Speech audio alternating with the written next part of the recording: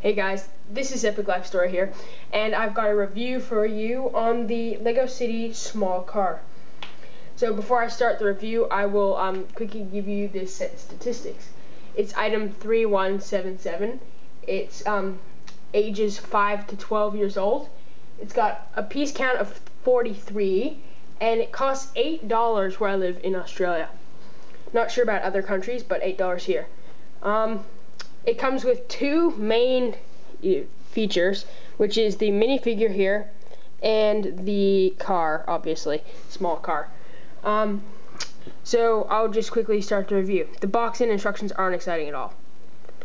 This is the minifigure. He's got um, brown hair, a smile face, white jacket, blue details on the jacket, and green pants, which you don't see too often.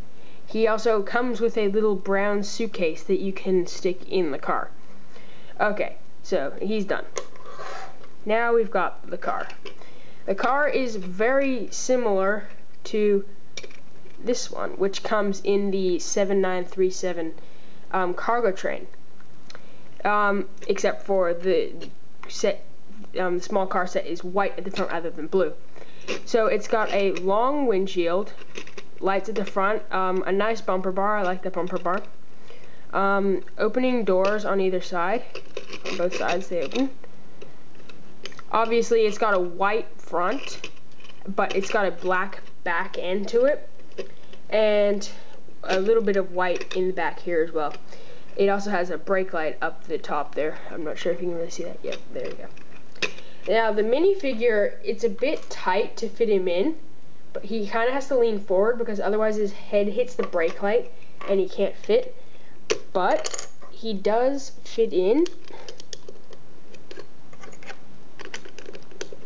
quite snugly. And it's not really too much of a squish at all if you lean him forward. And then there's even little room in the back where you can put his luggage. There's like a little trunk area there behind his back. And it doesn't, it's a, quite a small set when you put everything in there. It's really just a car with a guy in it. But it's a nice addition to your set because you can, you know, park it outside a building that you um, create and it makes it look really nice. So um, that is pretty much my review of the um, Lego City 3177 small car set.